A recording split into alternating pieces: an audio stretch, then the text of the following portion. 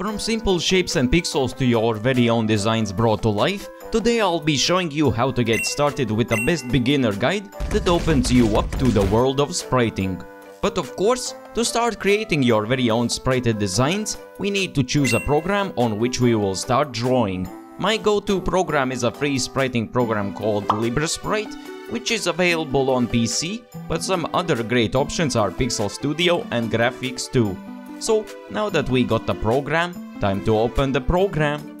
Now, an important thing before creating your first ever sprite is deciding in what type of style you want to create your sprites. For the sake of the tutorial, I'll be using the 96 by 96 dimensions, which are a Gen 5 style sprite that are most commonly used in fan games. If you want Gen 3 sprites, then use the 64 by 64 dimensions and limit yourself to 16 colors for a more authentic feel of the GBA sprites, while 80 by 80 is for Generation 4.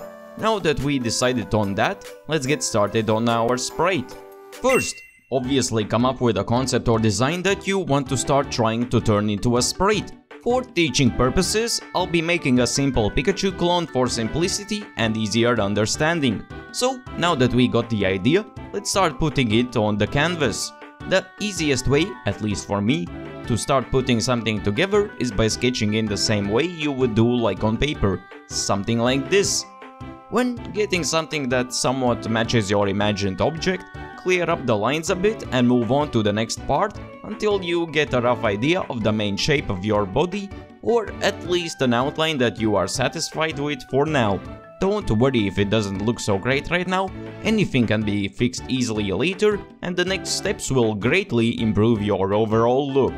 Okay, now that we got the main shape of the body down, let's move on to details such as eyes, cheeks, mouth or anything like that. A thing that many beginners struggle with is getting the correct sizes or details down so it doesn't feel off or getting the perspective right. To explain this a bit better, let's use Pikachu's Gen 5 sprite as an example. As you can see, from our point of view, we can see that it's looking a bit to our left. But how do we achieve this feeling? Although the head is shaped in a way that the eyes seem they would be in a different spot, we actually put them slanted in a different direction, like the right eye being a bit to the right from the center of the head. Then the left eye is one or two pixels lower and is usually smushed next to the outline on the left side. We also reduce the width of the eye by 1 pixel so that we get the feeling of eyes being apart and boom, the results speak for themselves. Now you may be thinking why am I so caught up with the eyes? But the thing here is that this strategy pretty much applies for every single thing in the detailing process. The cheeks, exactly same thing. Making the feet and legs look like it's not standing in a static pose, make the left one smaller and wider to look like a better stance, then also shift the pixels resembling the toes also to the left. But a thing that applies to the fingers is usually reducing the count of fingers since it plays into the feel of just being extended to the side and can be written off as obscured by the hand. Some other noteworthy things for detailing can be stuff like patterns, stripes, accessories and etc. For both of those let's use Exeggutor and Machamp. Like you can see, Exeggutor's lines clearly can be seen going around it, but how is this achieved? Well, perspective once again plays a role in this scenario. Start from a high point from your side of choice, then create a tilted curve to the other side. As for accessories like Machamp's belt, we once again use the concept I mentioned before with the cheeks and the eyes. Keep in mind that to create a working perspective like all of these, there will always be less pixels to the side your design will be tilting towards, and more on the side that is showcased like Machamp's Heart Gold Soul Silver sprite, tilting more to the left will have its right side exposed around the belt, but the Platinum one will have more pixels on the left when facing more towards the right side. And lastly, for things such as mouths or any other center details, make them in between already made parts like the eyes. Now using the method I mentioned with the belt, let's use a bit of maths here. Between the eyes is a certain amount of pixels, for example 5. As we see around the hips, the belt has way less on one side than the other. So let's split the pixels into two groups of 2 and 3 then put a gap of 3 on the right side, but 2 on the left, which should result in a nice looking face, so give yourself a pat on the back for that one. Now that we pretty much have made the complete basics of our design, time to bring some color into our fella's life. Although it can seem simple at first, the tone of your design's colors can make or break a sprite. If it's too saturated, then we just get hit with PTSD from seeing blindly oversaturated YouTube thumbnails, but if we make it too grim and desaturated, then we're just making contenders as monster designs for games like Fear and Hunger.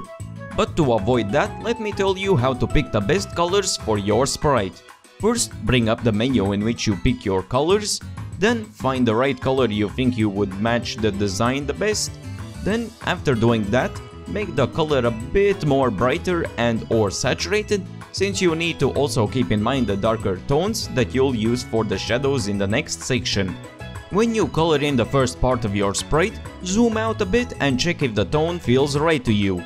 Not too saturated or too colorless. So when you get that done in a way you like, do the same thing for the details as well. But make sure to keep in mind that greatly saturated or somewhat washed out colors still can work, like using saturation for vibrant thing like sparkling gems or bright fires, while moody colors can enhance a feeling of ancient and creepier designs.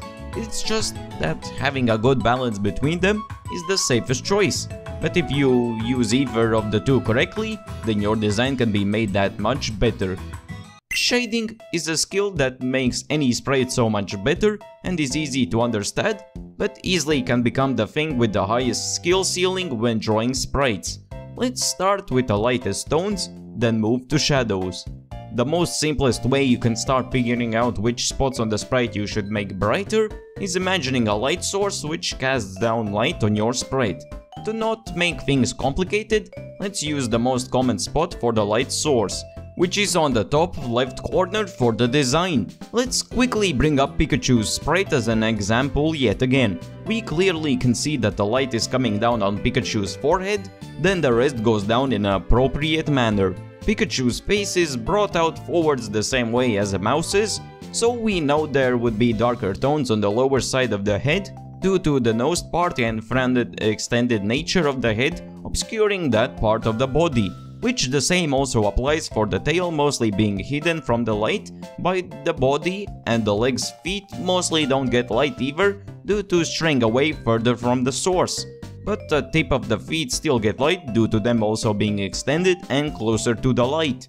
I know that all of this just now sounded weird, but that's just how the cookie crumbles. And mentioning the oval bright coloring on the forehead, make that the brightest tone together with other parts that would be reached by the light the most with the same color.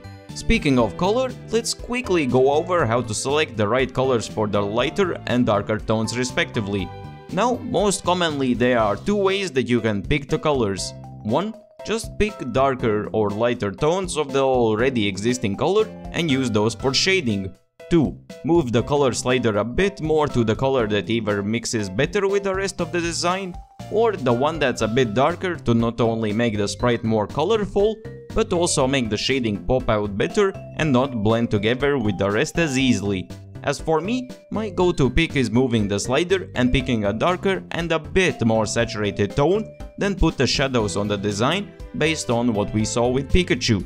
Now, there are also multiple types of tactics you can use to enhance the skill of your shading, so let's go over them. Let's start with the most common one, dithered or checkered patterns in the shadows. These are used the most in sprites either to save on the amount of colors used, or to make the spots where the shadows could still somewhat be there, like the right thigh on Pikachu. Not only the shadow would break up there due to how the lighting would work, but it also makes a larger amount of darker spots look less off-putting. Also, be sure to keep in mind the amount of how much you use these patterns relative to the amount of shadow. Up next, transition shading. This and the multi-layered one are less used on limited color palette size sprites, since usually the extra color you would use for this could be used instead for an another design. But if that doesn't bother you or the sprite doesn't use that much colors anyways, feel free to use them. To keep it simple, this type of shading works by having a thin line of a color in between the existing two tones, so by looking at it from afar it looks way smoother. And the last one is multi-layered. It works just like it sounds. You make the shadow turn even darker with darker tones in less lighted spots, which most commonly is done by reusing existing or similar darker tones, or taking the outline to repurpose that into extra shading. Speaking of outlines, of course, just like with shading, the outlines although seeming simple enough, they also play in a part of making your sprite look as good as possible. When looking at the colors used for the outline, there usually are three tiers of colors used. A darker tone specifically made for the use in the outline, a recycled color that is the darkest beside the special outlined one, usually the shadow, and a light tone which is just the lightest tone from the shadow. As for how they are used, let's start with the lightest one. Out of the three, this color is the most sparingly used by just highlighting the absolute brightest points on the sprite, like the forehead or anything like that. The middle tone is general coverage for lighter parts, then the darkest one is reserved to parts with the most extreme shadows. A thing that you need to keep in mind when coloring the outline is to keep in mind the color mixing. For example, in the darker places instead of putting all of that location's outline as just the dark color, but mixed together with dark pixels. Now that we have covered all of the basic main points for creating the sprite, let me tell you some smaller stuff and other things that help you out in the long run. If you're not sure how to approach a certain body part or an aspect of a design, look at the existing Pokemon sprites, some ideas or additions you could use for the sprite. As for me, when I was starting out with learning how to sprite by being self-taught, the easiest and fastest way I started to improve was not only taking notes from the official sprites and how were they made by keeping in mind stuff like perspective and the source of light, but also sometimes looking up something like Venomoth for the huge round eyes or Slowbro's striped belly if I ever get stuck. Although similar, I still count redrawing and revamping sprites as a separate category for learning. Think of this as a digital version of a coloring book for spriting. The way this works is by taking an existing sprite, putting an image of it on the side and redraw it on your own without tracing. Then after you start to understand that you can try doing something like taking a Gen 1 sprite of any Pokemon, importing it to your program of choice, and then turning it into a newer gen style of your choice by expanding the color palette and using the same spriting methods that apply to Gen 3 or 4 sprites. If you have chosen a certain generation or a specific way of how you're going to make the sprite, stick to your original plan. Putting the checkered patterns for the shadow like the Gen 3 sprites, using unlimited amount of colors like for fan games, and picking a different light source that does go well with the rest, can end up messing with how your sprite ends up looking. Stick to the rules and imitate the style of your chosen generation as close as possible. Also, consistency easily can apply to practice as well, by not giving up halfway and always giving a shot at trying to improve your art. Ever heard of the saying practice makes perfect? Don't be afraid to search up on the internet for extra guides and ask around on sites like Reddit for some helpful tips if you are not sure how to improve on what you're making, especially since feedback although sometimes hard to hear out, can be a really big helper to fix and work on things you may have not thought of before. Now that we have gone over the most important parts of spriting, let's quickly go through the process again, but this time I'll explain every step that I do. Step 1. Roughly sketch out the idea you have in your head until something vaguely resembles what you're looking for. Step 2 polish and clean up the body so that the outline is clean and doesn't look ragged and rough around the edges. Step 3. Add in the details for the design like mouth, nose, eyes and patterns and whatnot while keeping in mind the method with pixel counting and perspective. Step 4. Find and choose the best fitting colors for your design while keeping them not too saturated or gloomy. Step 5. On the slider move a bit to the darker yet matching tone.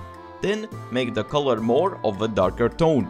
After that, start shading the body based on the light source, which most commonly is the top left.